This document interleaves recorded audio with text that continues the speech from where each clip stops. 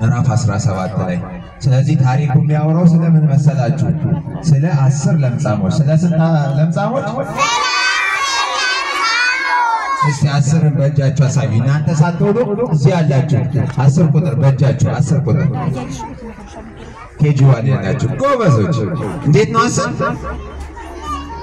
አዎ እስቲ ከኋላ ያላችሁ ከኋላ ያላችሁ እጃችሁ በደንብ አይታይም፣ በደንብ አይታይም። በደንብ አዎ፣ ጎበዞች አስር እንዴት ነው?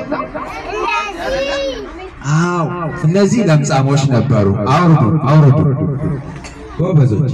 እና እነዚህ ለምጻሞች በጣም የሚያሳዝኑ ሰዎች ናቸው።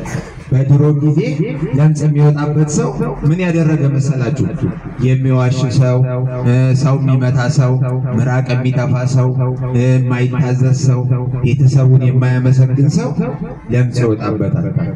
ለምጽ ማለት ደግሞ ፊቱ በጠቅላላ እንደ ምን ልበላችሁ እንደ ነጭ ይሆናል። እንደ ልብስ ማለት ነው። እንደ ቁስል ሆኖ ፊቱ በጠቅላላ ነጭ ይሆንበታል። ከዛ ያ ፊቱ ሊሸፍን ደግሞ ልብሱን አምጥቶ ማለት ነው ሰው እንዳያየው ልብሱን እንደዚህ ሲሸፈን ለምሱ ደግሞ ምኑ ላይ ይወጣል? ልብሱ ላይ ይወጣል። ስለዚህ ለምጽ ያለበት ሰው ከቤተሰብ ጋር መኖር አይችልም። ስለዚህ ሕፃንም ቢሆን ትልቅም ቢሆን ከቤት አውጥተው ይጥሉታል። ከቤት አውጥተው ምን ይሉታል? አዎ ከቤተሰብ ጋር አይኖርም።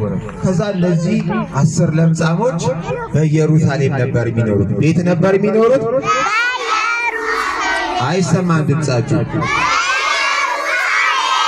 ጎበዞች በኢየሩሳሌም ሲኖሩ በጣም ተቸግረው ሰው አይቀርባቸው። እነሱ በሄዱበት መንገድ ለምሳሌ ለምጽ ያለበት ሰው ማለት ነው ይኸውላችሁ፣ በዚህ መንገድ ከሄደ አሁን እኔ በሄድኩበት መንገድ ከሄደ እሱ የሄደበትን ማንም ሰው አይሄድበትም። በሌላ መንገድ ቀይሮ ነው የሚሄደው። እሱ የበላበትን ደግሞ እሱ የሚበላበት ምሳቃ አለ አይደል? እሱ የበላበትን ምሳቃ የሚነካ የለም። እሱ የነካውን የሚነካ የለም።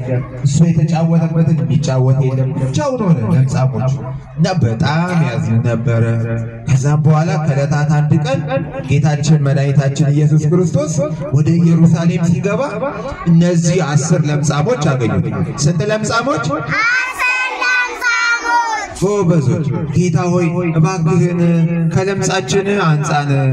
እኛ ለምጽ ስላለብን ከሰው ጋር መጫወት አልቻልም። እኛ በሄድንበት ሰው አይሄድም።